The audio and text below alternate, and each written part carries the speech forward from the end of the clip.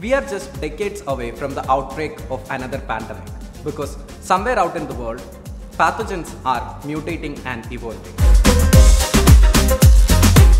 The goal of this course is to teach you the basics of molecular biology and how DNA, RNA, protein works.